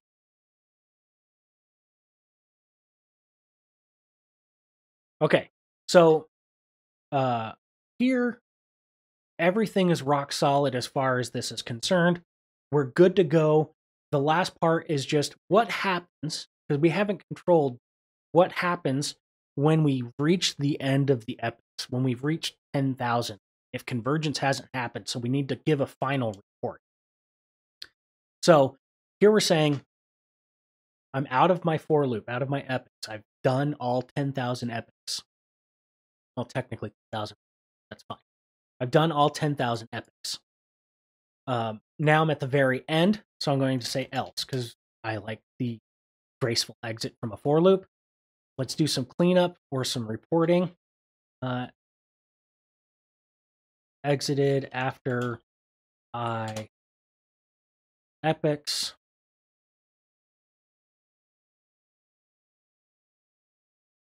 Um, no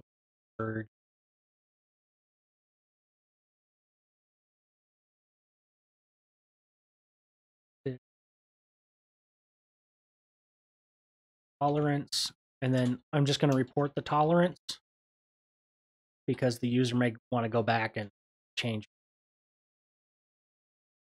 Um, now let's do, now we've reached the very end, so we need to find out what the final tally. What's the final result of all of our motifs? So final CPM equals SL.CPM. And we're just going to do this little trick that we did up here. The same trick we're going to do uh, down here. Okay. Uh, so I'm just going to be copying and pasting.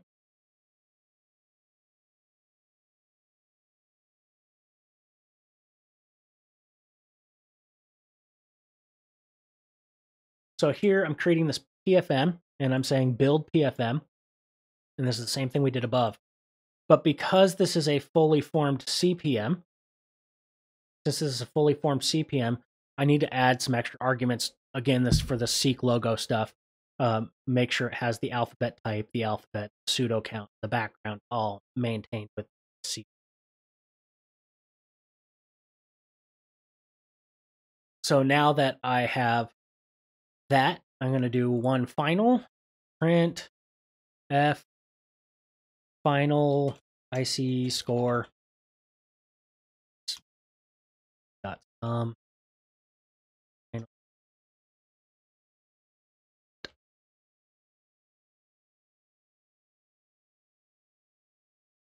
and then return that final CPM.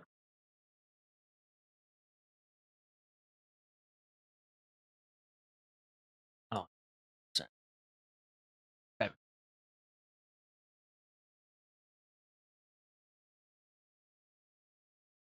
All right, I'm just doing a quick check over some of my notes over my side.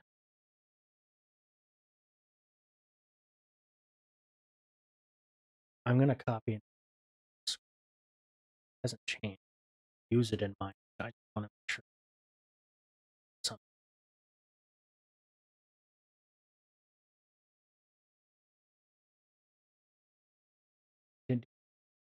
Okay.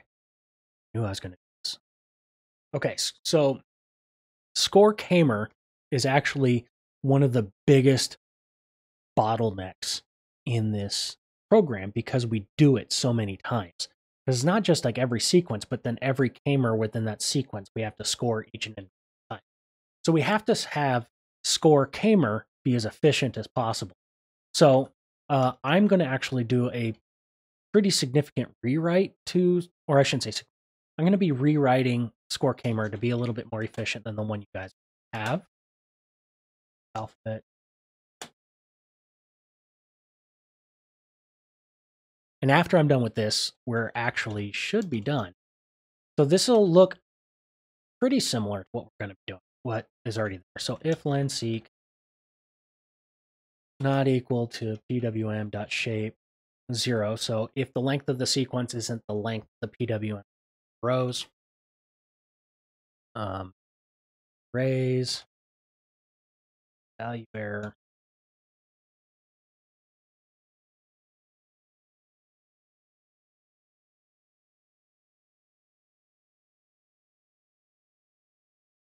Okay, now we're going to iterate through them. I'm going to be using my fun enumerate for j base i base in enumerate uh, seek sequences for plus equals PWM.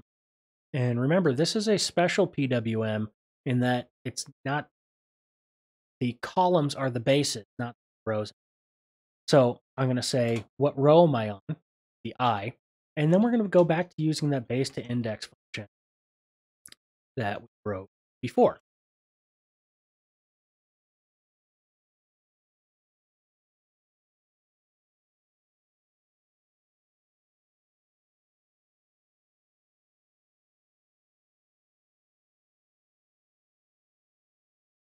And once it's gone through and summed all those up,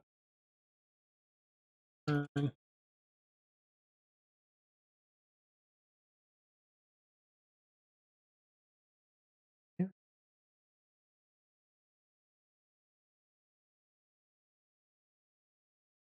Okay. So now that that's all said and done, we should have everything that we need. So if we run this, if you guys remember, I actually had those.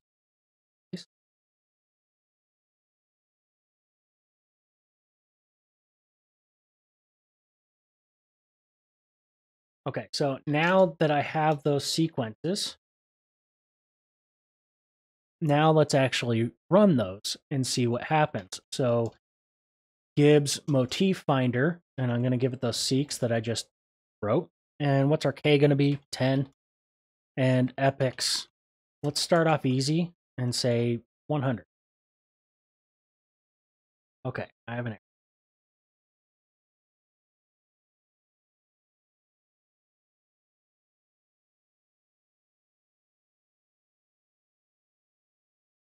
The fun of life.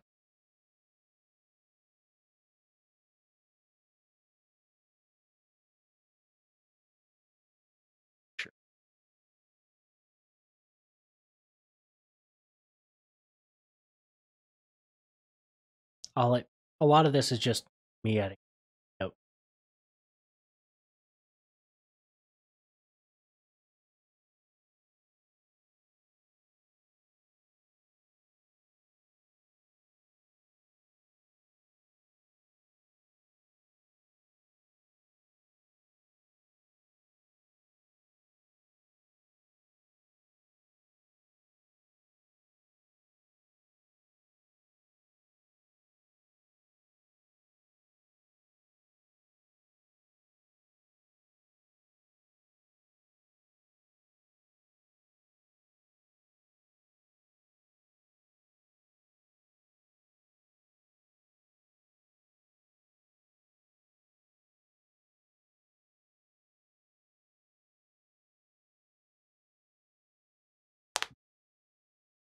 Okay, so here it's saying, because if you look at this, there's essentially two epochs that are reached.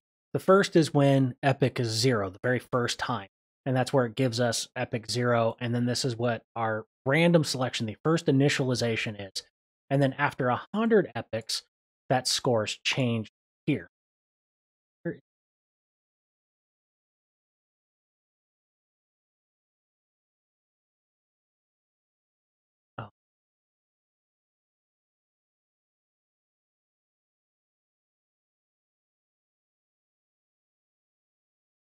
Going so slow. Fast.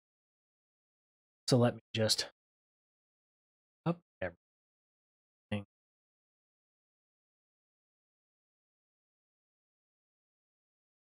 Did a lot of.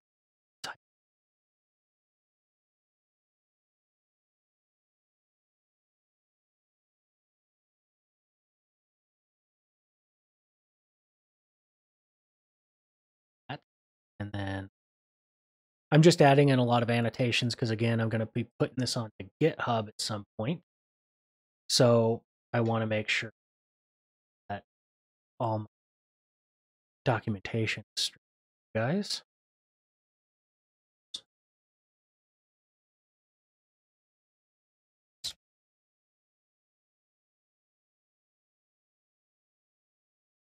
So I'm just so, what do you guys think about this medium? Are you guys actually liking this uh, office hours? I eh, was hoping that it was going to be a little bit more interactive, but it seems like it's kind of you guys are watching me or paying attention to other stuff, or maybe because you know that it's going to be recorded, you don't care as much. Saying that that's a bad thing, saying that that's something somebody do. Um, are you guys liking this? Is this something that you would want to do in the future?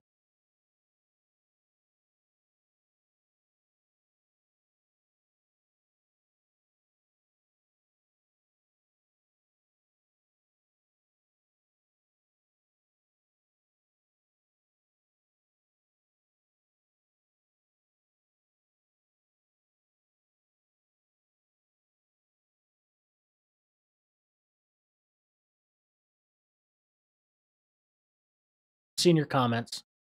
Get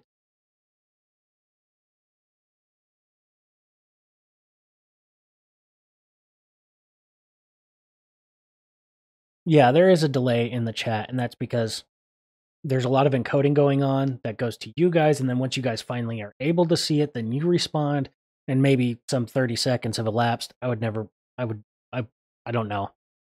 Um as far as will this video be uploaded?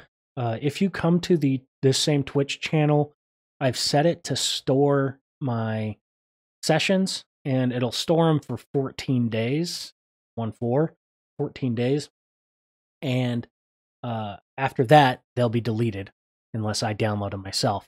So you have 14 days to come back and read it. It's it's fine. Um, I'm glad that it's helped you guys. Uh, I'm really interested in doing this. I think I think it's fun. I definitely went over. I was expecting it just to be one hour. Ended up to be two hours. Uh, but after running all those, let's see. Run from the top. Set of it. And run cell.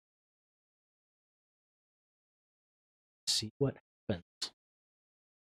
Okay, so while that's doing its thing, uh, can you guys give me some details on things that you wouldn't mind changing, or did you like the audio? Did you like the video? Were things helpful? Uh, that sort of stuff.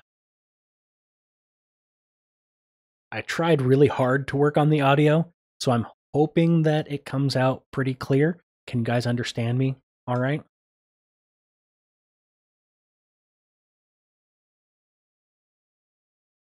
And for the heck of it, I'm going to go through our Gibbs motif finder and go the full 10,000. And you'll see that even this way, uh, it'll print out these things as it sees them, as it gets to those epochs. Uh, that even after 10,000, it still doesn't reach convergence depending on whatever you set it up. Yeah, so uh, to talk about this, this is actually, I'm like a major uh, webcam guy. Like I hate webcams. I hate people seeing me. I'm very much against people taking my picture. I even have like I've disabled my webcam on my computer through the BIOS and on the motherboard. Um, but I bought a kind of fancy webcam to use here to get a little bit better of a picture. And then the microphone is uh, my Christmas present my wife wife gave me because I've been really interested in doing uh, online classes for programming, uh, teaching Python, and you have to do auditions and stuff like that.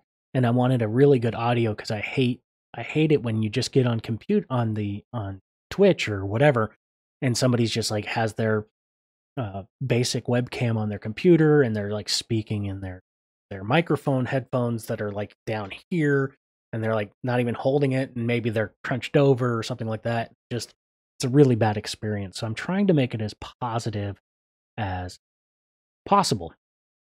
Um and I've tried hard as far as like OBS is concerned or as far as the uh, setup. So if I go to my intermission chat, uh, see, go over. So now we're in intermissions chat, and you get to see like my background stuff. Um,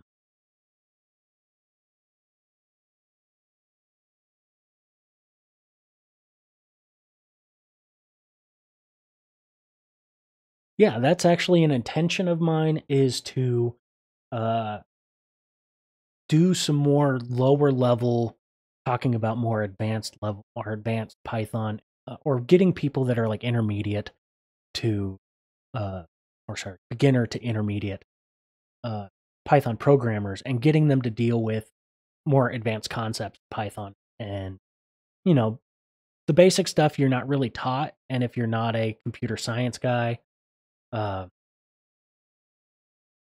if you're not a computer science guy if you're not a computer science person or if you haven't been programming your whole life there's a lot of things that people take uh, advantage of or take for granted. Specifically in our class we talk alan's a computer scientist by nature. That's where his training is in. So there's a lot of aspects of it that are very simple concepts for him that are actually uh, difficult for beginners because you guys may be biologists, but you you're not statisticians, you're not uh, programmers, so you're having to learn a lot of stuff all at once. That uh, because of the curse of knowledge, he's forgotten what it's like to not know that. So not only are you learning about what is a motif, but you're also learning the programming behind finding those motifs it can be very difficult sometimes. Uh, and I don't envy you guys. And that's part of the reason that I tried to set up this uh, stream, this virtual, is to so you guys can see the way that I do things uh, in program. I think my computer is going so slow now because I'm streaming as well, and like my CPU is just like hurt it's like it's been like 90% the entire time I've been Because earlier today, this right here, this Gibbs motif finder, that thing that thing just like went so quickly uh earlier. And I've been really trying to prototype it to make it. Okay. That's gonna take a while. I assure you that it will not meet it will not get to convergence. It'll just report the PWM. Uh, but we can easily say uh, when it gets to it, I'm gonna say six, whatever that is. Uh, C C S L, and I'm gonna create a seq logo from that C when it reaches. But uh did you guys think that the material, the actual code, and the process in which I wrote it made sense? You guys like them? Or was I introducing complicated stuff?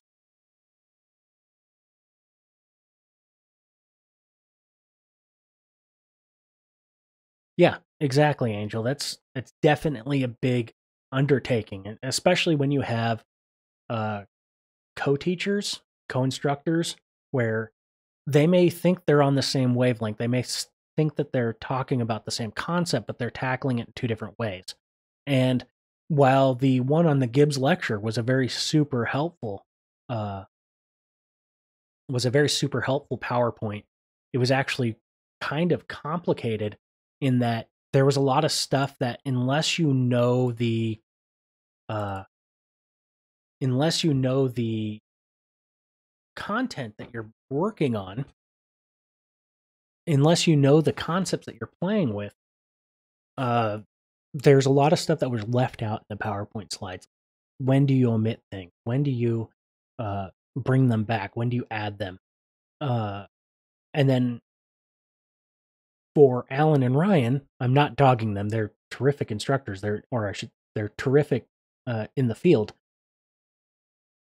They forgot that some of the stuff they know we don't even know yet. So some of the the stuff they've forgotten, they've forgotten more about the field than we know at this point. So they take it for granted in that case.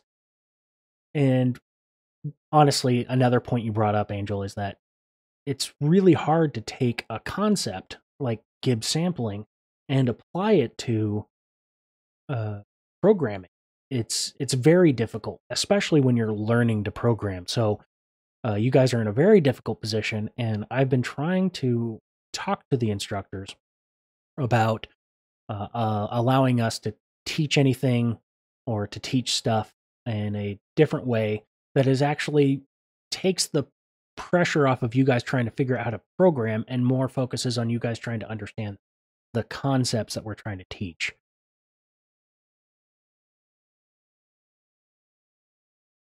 Yeah.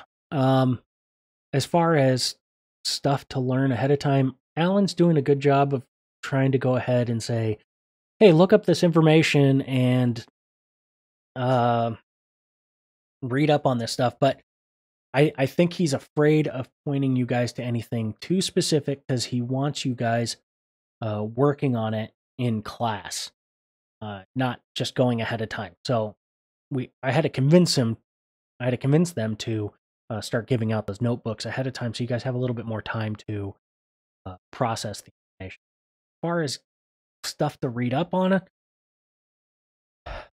I don't know. Uh, I'm sorry, probably not a wealth of information there. Uh, I haven't done a whole lot of. I'm doing a lot of the Canvas administration stuff. I'm not really actually implementing a lot of the code myself. Like I didn't even play this Gibbs, sam- Gibbs sampling stuff until like this weekend, or not since classes. So, this is like my attempt. And, uh, wow, I'm sorry, Angel. I don't really have anywhere you point me to. Uh, if you look ahead and you feel confused about something, I can try to help you. The problem is, is my way of doing things in Python aren't always the same way uh, Alan would do it. So I would say, oh, yeah, this makes sense. Uh, I'm just going to use this. I'm going to use pop, or I'm going to use random, or I'm going to use something else like that. It's not always the first thing Alan will jump to. So I may potentially accidentally point you in the wrong direction so that when it comes to class, you're not doing it the way that he's expecting. I wish that was a little bit more help.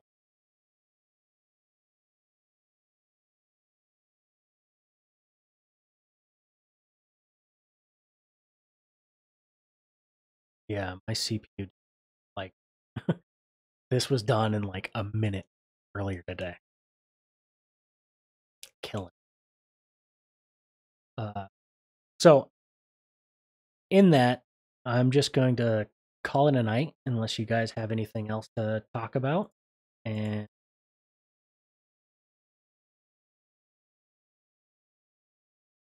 I hope this was helpful. So, good night.